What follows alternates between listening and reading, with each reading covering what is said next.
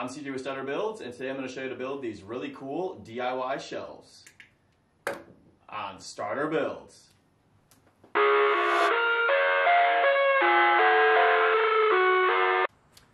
What is up guys, CJ here with Starter Builds, and in today's video we're going to be building floating shelves for the nursery. Uh, this project is very, very DIY friendly, and we're going to be able to do this with a 2 by 8 by 8 foot long and some 3 4 dowels.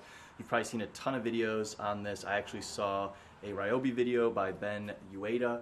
Um, that's what I'm going to be replicating today. It's very DIY friendly, so this is the materials we're going to need.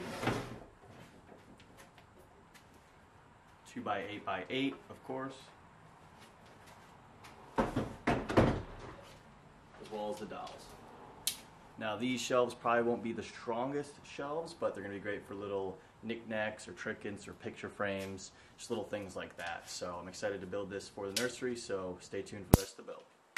All right, starting at the uh, miter saw here, we'll go over there and we'll cut three individual pieces at 24 inches in length. Once you have that, you're going to measure out three different marks. The uh, end mark should be two inches from the end and then one in the middle.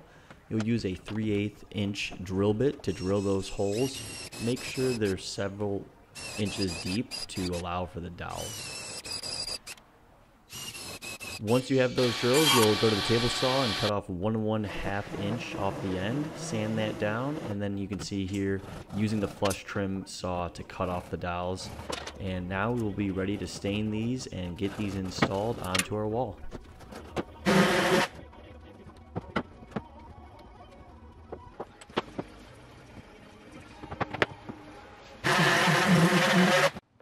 All right, two of the floating shelves set up in the nursery here.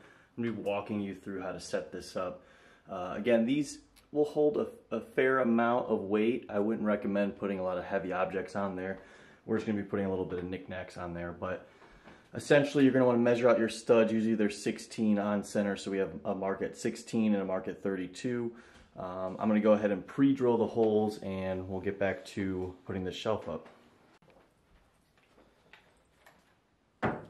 Got this set up. I only had some leftover Kreg pocket hole screws, two and a half inches, so I'm gonna use those.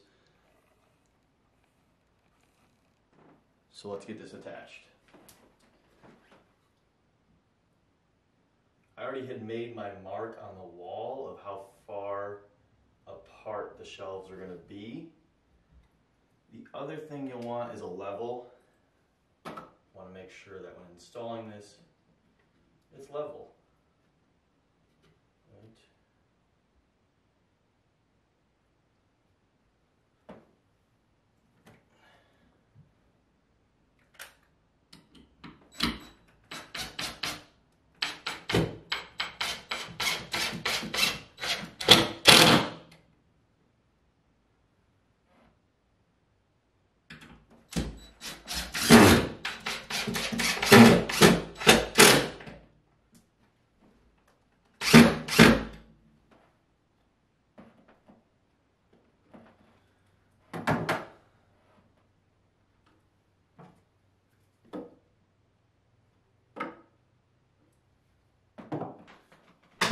Right. Right, here is the shelf.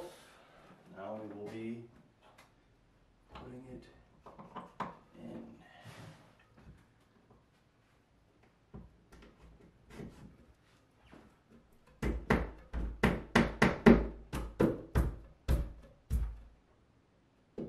Perfect. And there you have it, three floating shelves. Very cheap, very DIY friendly worked out pretty well. Obviously, again, these aren't going to hold the strongest amount of weight, but they'll get the job done for what we're doing here.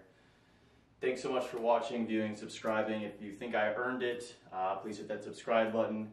Again, I'm just a, a DIY dad here trying to build and learn as much as I can.